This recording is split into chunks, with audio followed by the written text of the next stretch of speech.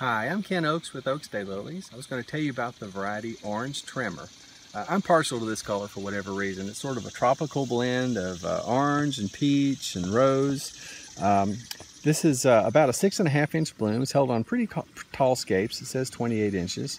And it's a late season bloomer. You can see it's early July here in our garden and these are just now getting started. So it's a great way to extend your season. But this is Orange Tremor.